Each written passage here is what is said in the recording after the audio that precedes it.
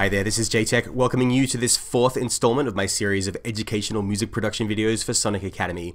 Today I'm going to show you a way that you can take the synth sounds in your track and make them sound much more realistic, iconic, and convincing.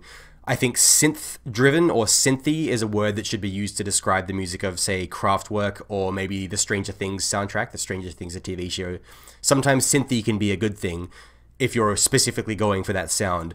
But if you're not, I think your synth shouldn't sound synthy at all. And the best way to do this is to take the electronically synthesized sounds that you've created and use real world sounds to basically bolster them in place and to give them a bit of bite.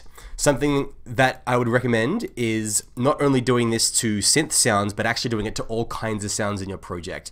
Uh, it, it's a it's a way of improving the transients, the way things hit. It's it's it's it's a method of filling out basically uh, perhaps sounds that weren't particularly well rounded to begin with or a little bit wimpy. You know, it's it's sort of similar to adding an extra snare layer like I have here. You know, I could I could probably add another three or four or five or a dozen snare layers. I've heard of people using like a ridiculously high number of like kick elements to all come together to form one kick. That's something I personally don't do because uh, I'm not a big fan of trying to make juggle different kick elements to make them all work together. So basically, what you want to do is go through the whole track and look at the synth sounds that are actually the most important ones, I think, to begin with, and uh, sort of just have like have a look at how they actually sound.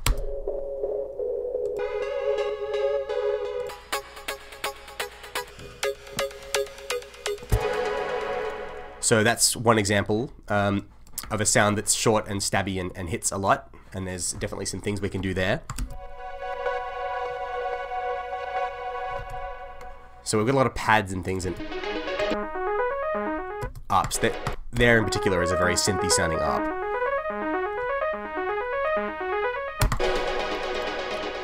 So uh, what I'm going to do is go through the project. Uh, I'm going to put you on pause as I have done in the past and basically uh, use some real world sounds, use some sounds from my, my sample library that I've been building for the last like 10 or 12 years or so, and uh, basically find ways to make those synth sounds sound like really interesting, unique sounds. So bear with me, I'll be back in just a minute. Right, we are back, ladies and gentlemen. Um, so I've basically beefed up two sections here uh, with the audio as promised. Uh, the first one being this chord section here, which is basically uh, the melodic chords that are carrying the whole track. And the second one being um, this little hi pad here, which in case you had forgotten, I'll just play for you. Um, and that's basically just a little, uh, little cool little element in there. So I've used a few different approaches here to beef up this sound. I'll play first these chords without without it.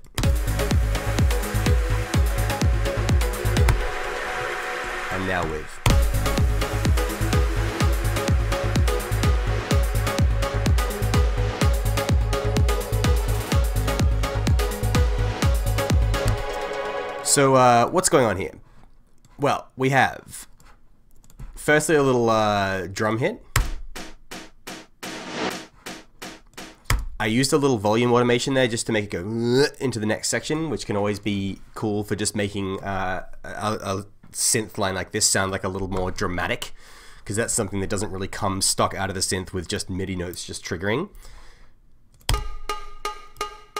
Sort of an almost cowbell sounding perc sound, which just helps the transient have a little more snap, a little more pop. Next, I have an Ableton Simpler, which is a simple sampler. I have uh, this Railroad Bluesly, which is basically just a vocal sample with uh, somebody singing, and I've just sampled it with the very top notes of the melody.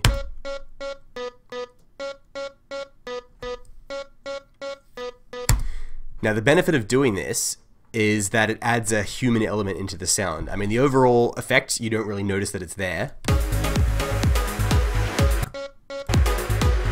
But never underestimate the power of the human voice to propel a record further than it would normally go. It's the reason why vocal records do so much better than instrumental ones because people need a human connection within the music. They need a human element. So that actually, the more cool little things you can do to make a human create the sound that is coming out of the speakers, um, the better the better it'll be. And I think you see you see that evidenced in a lot of tracks nowadays. Um, these new kind of uh, I don't know if you'd call them future house or if it's if it's tropical house. I'm not really I don't really understand all the different classifications, but they have these kind of chopped up vocals driving the melody, and you hear it a lot on the radio at the moment as well.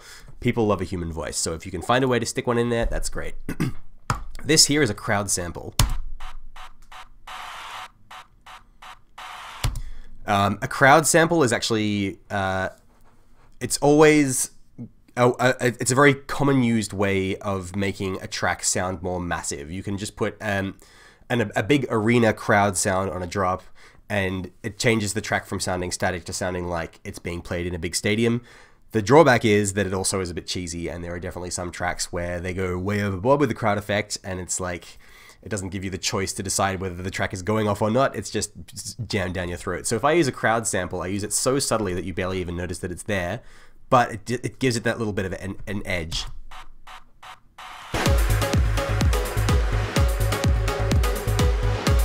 And that crowd sample uh, at the end there, like the, the longer section there, also sort of um, pairs with that as well, with the, the drum.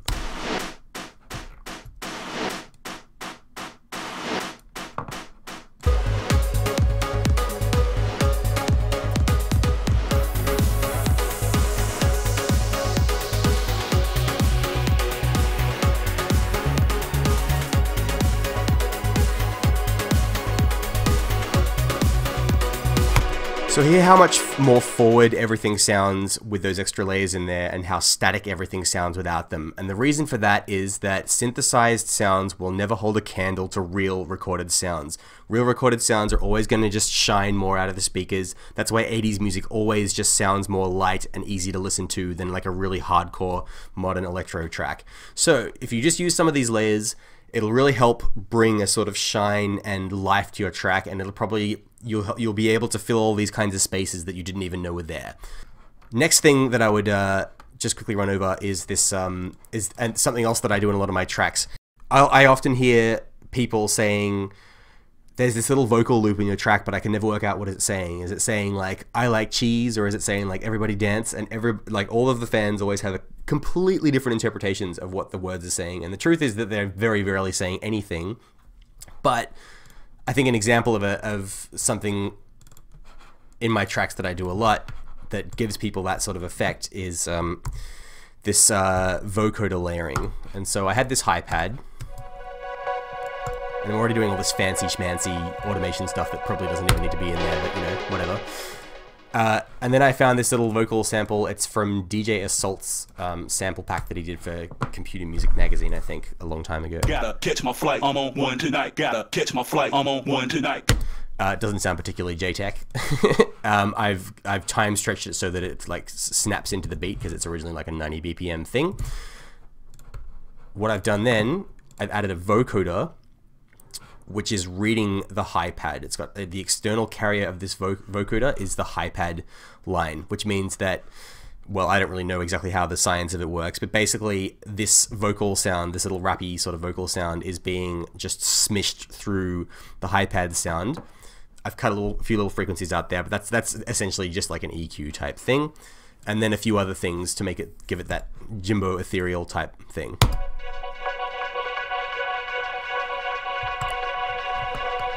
I gotta catch my flight.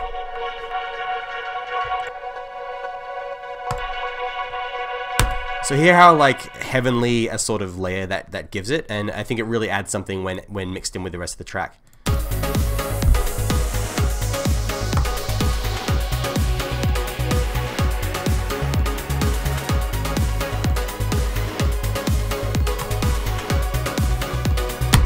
And once again, I think what really gives it that sort of connection to the spiritual realm that I try and always inject into my music is the fact that it's ultimately being created by a human voice. It's being created by people. And that's what you really want in your music is you want people because it's music for people and without people music doesn't mean anything.